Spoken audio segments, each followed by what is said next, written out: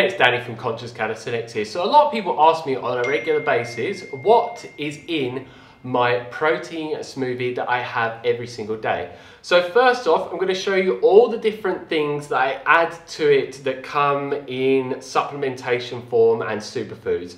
And then once I've gone through all of these and explained it to you, then it will actually switch to me making the smoothie and adding all of the fruit-based ingredients and water that I add to it in addition to all of these different things.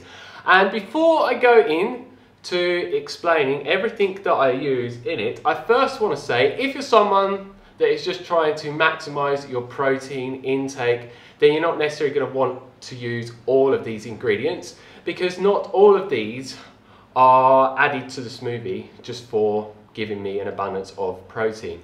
All of these different things work synergistically alongside each other to optimize my hormone production, my neurotransmitter production, my health holistically, my sex drive, my digestion, and so many other different amazing benefits that just make me feel the best every single day and especially to give me an abundance of sustained energy throughout the day and optimize my sports performance as well.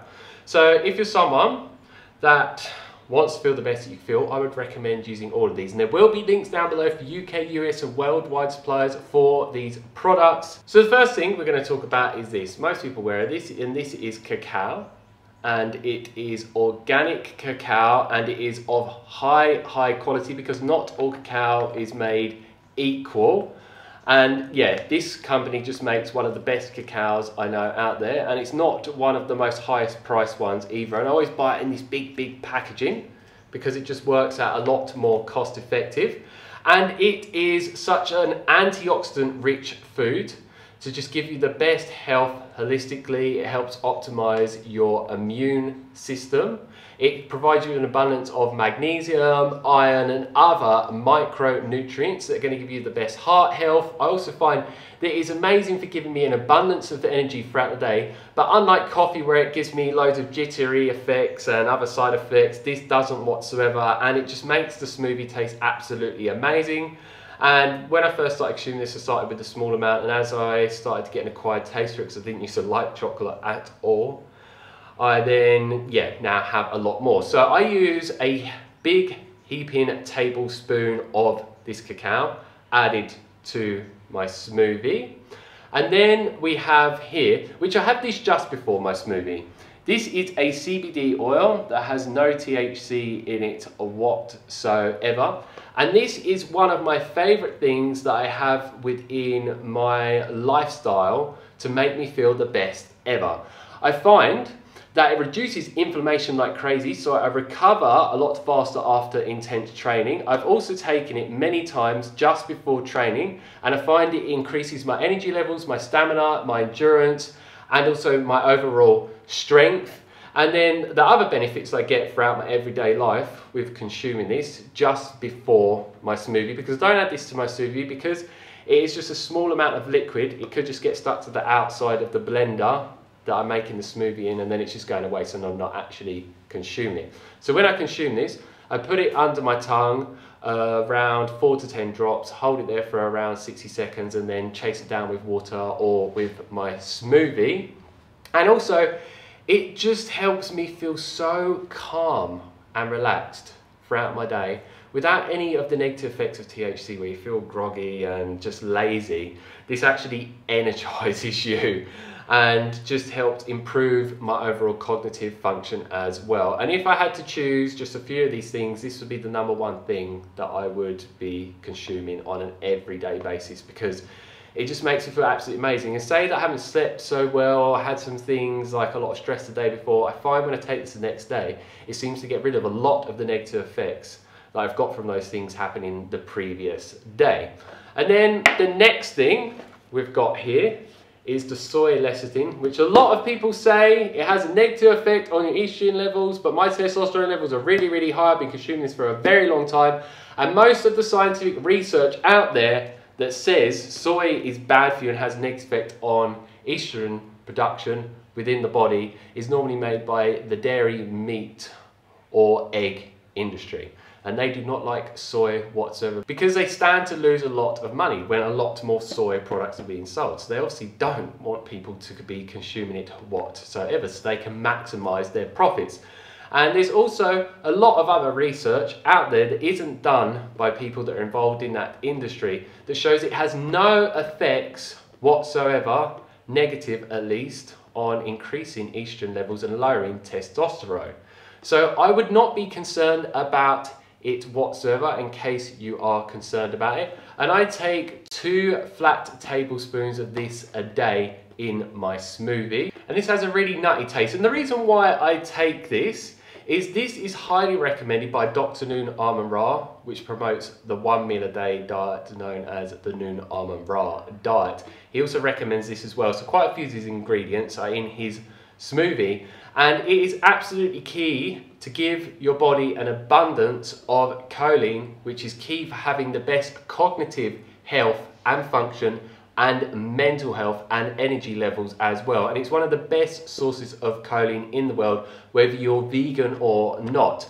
And what I would like to say is, whether you're vegan or not, if you may even be a vegetarian or pescatarian or something like this, I recommend this to anyone, no matter what diet you're on, because it's just going to make you feel the best that you can feel every single day. And then the next thing I have is the protein powder. And this is by Garden of Life. It is raw, which means it hasn't been heated up to high temperatures because when you heat things up to high temperatures, it destroys a lot of the beneficial nutrients in it.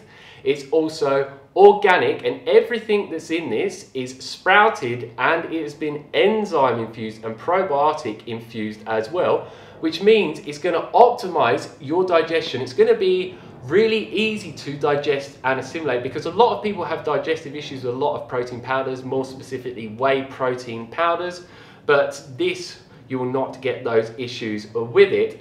And because it has loads of sprouted foods in it, it's also very, very micronutrient rich, so very high in vitamins and minerals. It's going to help optimize your health holistically and your energy levels and just make you feel the best that you can possibly feel. And the amount of protein that is in this is 22 grams of protein. And as it says, it's also a very good source of vitamin D, vitamin K, zinc, manganese, selenium, molybdenum, vitamin E, and various other nutrients as well. And yeah, they have different flavors. This is the unflavored one, but I've also had the vanilla one, which tastes definitely a lot better. This doesn't taste bad, but obviously because it's not flavored, it's not going to taste as flavourful. And there's also the chocolate flavoured one, but I don't bother with that because I add my own chocolate to it in the form of actually healthy chocolate, unlike dairy chocolate bars that are just full of so much garbage that have a negative effect on your health holistically. And I also have the vanilla chai one, which I haven't had that one, but I've been told it is a very strong chai taste. See if you're someone that's not really into chai, I wouldn't recommend getting that one whatsoever. And I find that this blends up really well. It doesn't get all gritty whatsoever. It goes really, really smooth and I really, really, really like the taste of this. I would say I prefer the vanilla one more, but I switch between them depending on how I'm feeling at the moment I'm on the unflavoured one. And the next one of the highest protein sources in the world, which is spirulina. Weight for weight is one of the highest protein sources in the world. One tablespoon of this gives you around 10 grams of protein. So I always add 10 grams of this to it. So this helps boost up my protein intake. So this protein smoothie is well over 30 grams of protein in total. And it contains an abundance of chlorophyll, which is very similar to our blood when you look at it molecularly and it is just one of the most micronutrient rich foods in the world. And it's a very rich source of antioxidants which is going to help maximize your lifespan. It contributes to giving you amazing eye and brain health cardiovascular health. If, so if you're someone that's worried about getting heart disease or having other heart issues then this is going to really help with that. It also has amazing anti-aging benefits. It helps boost your immune system, your cellular health, your sex drive, like so many different things because it just contains so many different amazing nutrients within this, not just protein, all those vitamins and minerals and antioxidants and various other things in there as well. And what I have to say is most spirulina comes from China, so it's full of heavy metals and radiation. So I make sure that I buy this one specifically, which is Californian grown, and it does not contain a lot of toxic substances because quite a few people can consume it, say they feel bad from it, and that can be why, because they're poisoning themselves at the same time, even though they're trying to do a good thing. And then the next thing we have is taurine, which I'm running out of this soon, but I've got some more on the way. And this amino acid is not present within a vegan diet. The body can produce it itself, but there's a lot of scientific research showing that by taking more in supplementation form, it optimizes ATP, which ATP is key for giving you an abundance of energy. It also helps get rid of excess estrogen in the body. So in turn, it's then going to help boost testosterone, which when you're doing those things combined, it helps optimize your body fat percentage by reducing it, increasing your muscle mass. If you're someone that's looking to lose more weight and get the body that you desire, then I really recommend this one. And if you're someone that works for long periods of time, this helps optimize your mental focus, your memory, and also it's very similar to creatine. It helps actually draw water to the muscles. So it's gonna give you a fuller look for your muscles, which then makes it easier for you to recover within a shorter period of time and actually train longer and optimize your overall sports performance. And I consume five grams of this added to my smoothie. And I've got to mention with this, I just add one scoop of this protein powder to it. And then we've got something there, which I'll talk about in a minute. I always add unrefined sea salt, about two pinches worth, and quite big pinches worth of this because yeah, I'm sure as you know, when we're sweating and we're training, we are burning through sodium. And I find when I actually add this to my smoothie, it just gives me a better effect from all of these different things. And I find that if I'm not feeling so great mentally and physically, I take this and it's like a light bulb switches on. It just makes me feel so alive and just so good all round. And it also obviously helps make the smoothie taste a lot better as well.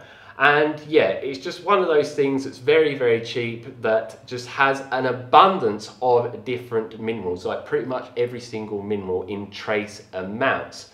So yeah, if you're someone that suffers with not great energy levels or your mind doesn't work so well, then I would highly recommend consuming this. But not all sea salt is equal. A lot of sea salt is actually refined, so it means the beneficial nutrients have been stripped from it. So make sure the one you're using is an unrefined sea salt and if you don't know where to get it from there will be links down below. And then we also have the BCAA supplement we've got that pot that's going to fall off so we move that there. And yeah, this protein powder does have BCAAs in it which it says it has 4 grams of BCAAs when you look at the front of the packaging. But I also like to add a bit more BCAAs, which helps maximize my muscle growth benefits after doing very intense training. And that is literally the only reason that I consume this whatsoever. Because the three branched chain amino acids within this have been shown through many different scientific studies to help optimize muscle growth. And it also has a whole host of other benefits that's just gonna help you with your training routine. And there's also one other huge factor that I also forgot to mention as to why I consume these BCAAs. I've done a lot of research into Ray Peat's information. If you don't know about him, do some research up online.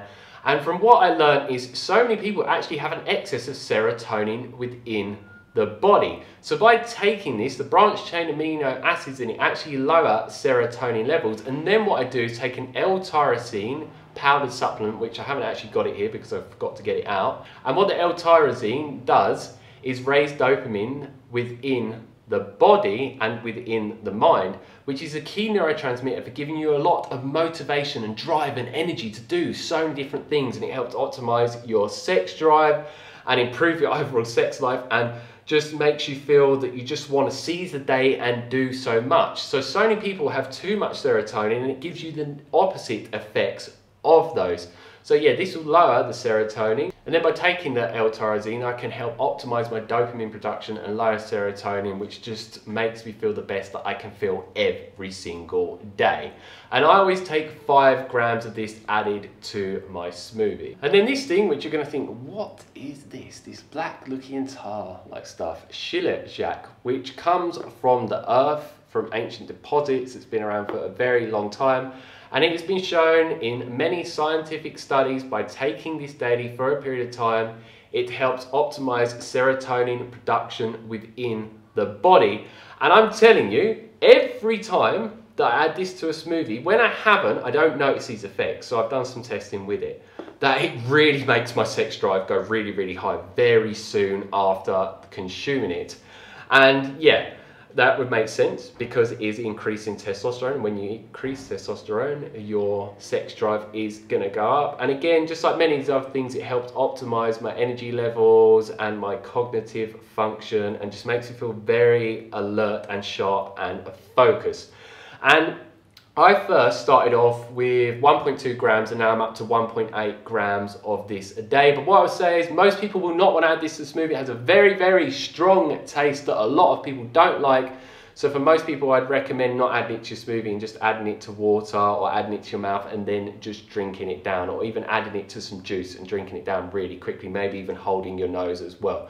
So that's just something to be aware of. And last but not least, which is behind everything, is creatine. And most of you are aware of creatine and the only reason I take this is to give my muscles the most fullest look possible. And this has been one of the best things that I've ever taken to actually get those results and sustain them. And I always take five grams every day. I don't do creatine loading as a lot of people do in taking high doses. I don't cycle it whatsoever as well. And yeah, you don't get creatine within a vegan diet. Your body does produce it. But I found with my own experimentation that it gave me the benefits I was looking to to give me that fuller look with my muscles. I actually did a 30 day experiment early on in my journey with transforming my body, which I put a link for up above.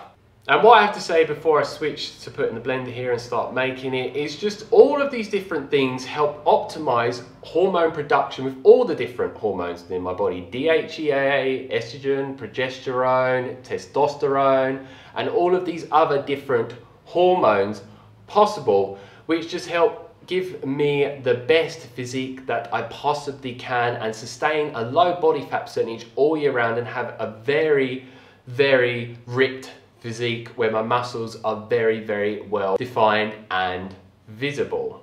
So now we are gonna go on to making the smoothie. What I've already done is put a small amount of water in, enough for it's almost covering the blade of the blender because I like my smoothies to be quite thick, but dependent on how thick or thin you like your smoothie to be, then you add as much water as you want for your own personal preference. And I always use a commercial blender, not one of these NutriBullets or one of these other types of really bad blenders because it doesn't make the smoothie really, really smooth at all and just doesn't break things up very well whatsoever.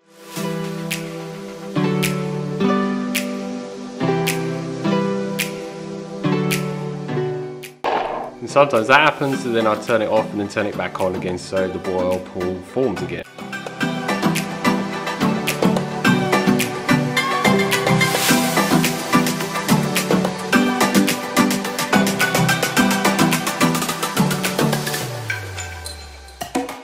Oh, and what I forgot to mention is I'd normally add cold water and cold bananas to it because if I don't, the smoothie, when it is finished being blended, will taste warm or even hot, which I do not like whatsoever. And yes, it is very, very green for obvious reasons. Spirulina is a very dark green, but it doesn't put me off whatsoever. And I don't actually like the taste of nori seaweed and these other seaweed things, but I find that this high quality spirulina doesn't taste like that horrible fishy seaweed taste whatsoever. So let's try it. Mm.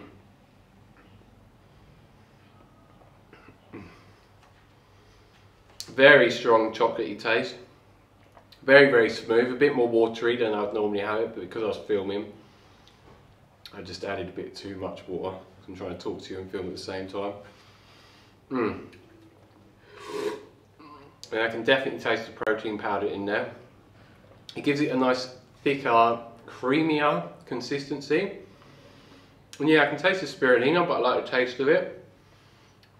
And the Shilajit that's added to it. But to me, it tastes very, very sweet. It's got a few different tastes from a few different things. And it's not anything that tastes to me horrible whatsoever. It tastes really, really amazing to me. And this is pretty much the smoothie I have every single day. And I wouldn't consume something unless I like the taste of it because yeah, a lot of people consume things that are good for you but don't taste so good. But I want the best of both worlds. So that is it for this smoothie video that I've shown you. And if you want to see the second protein smoothie that I normally consume later in the day, then let me know and make a video on that. It can